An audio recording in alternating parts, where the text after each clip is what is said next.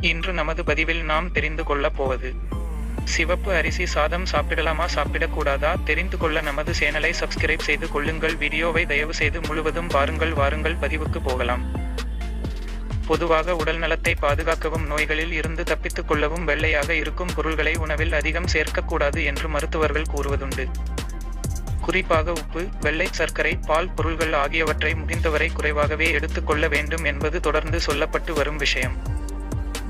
அதேபோன்றுதான் அரிசியும் கார்போஹைட்ரேட்டுகளை அதிகம் கொண்டுள்ளதால் உடல் பருமன் கொண்டவர்கள் நீரிழிவு நோயாளிகள் குறைவாக எடுத்துக்கொள்ள வேண்டும் என்பது மருத்துவர்களின் அறிவுரைகளில் ஒன்று. ஆனால் வெள்ளை அரிசிக்கு பதிலாக சிவப்பு அரிசி பயன்பாடு அந்த காலத்தில் இருந்து வந்ததும் இதனால் பெரும்பாலாக இதய நோய் நீரிழிவு நோய் குறைவாக இருந்ததும் பலருக்கும் தெரியாத ஒரு விஷயம். சிவப்பு அரிசி சிவப்பு நிறங்களில் பல பெயர்களில் உள்ளன. சிவப்பு அரிசியில் உள்ள அந்தோசயனின் எனும் மூலக்கூறே இதற்கு சிவப்பு நிறத்தை அளிக்கிறது. இதுவே நோய் எதிர்ப்பு சக்திக்கும் காரணமாகிறது. சிவப்பு அரிசி சாப்பிடுவதால் என்னென்ன பயன்கள் இருக்கிறது என்பதை பற்றி பார்ப்போம். மற்ற அரிசியில் இல்லாத அளவுக்கு சிவப்பு அரிசியில் குறைவான கார்போஹைட்ரேட் வைட்டமின் பி ஒன்று பி மூன்று பி ஆறு இரும்புச்சத்து மெக்னீசியம் துத்தநாகம் மாங்கனீசு உள்ளிட்ட சத்துகள் நிறைந்து காணப்படுகின்றன.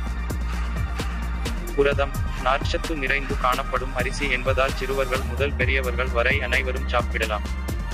இரத்தத்தில் உள்ள கொழுப்புகளின் அளவை குறைப்பது மட்டுமின்றி சர்க்கரை நோயாளிகள் சாப்பிடக்கூடிய உணவாக இருக்கிறது. எளிதாக ஜீரணமடையும் என்பதால் செரிமான கோளாறுகள் ஏற்படாது. வயிறு எளிதாக இருப்பது போல தோன்றும்.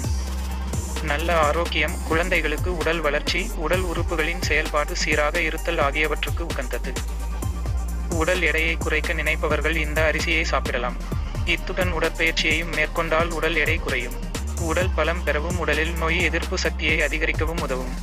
அடுத்ததாக உடலுக்கு குளிர்ச்சியை தரக்கூடியது. வெயில் காலத்தில் உடல் வெப்பநிலை அதிகரித்து காணப்படுவதால் உடல் உபாதைகள் ஏற்படும். ஆனால் சிவப்பு அரிசி உடல் உஷ்ணத்தை தடுக்கிறது.